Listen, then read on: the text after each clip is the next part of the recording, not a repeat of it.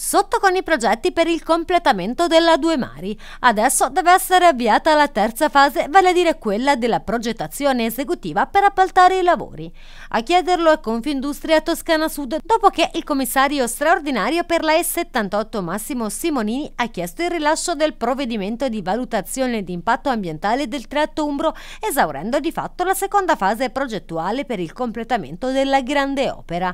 Per i tre lotti da completare da Siena a Palazzo del Pero Impero è prevista nei prossimi mesi la consegna del progetto esecutivo al Ministero dei Trasporti e di Infrastrutture per il finanziamento e l'appalto delle opere. Inoltre sono in fase avanzata di esecuzione i lavori tra Siena e Grosseto ed è stato avviato il recupero e la sistemazione della Galleria della Guinza al confine tra Umbria e Marche.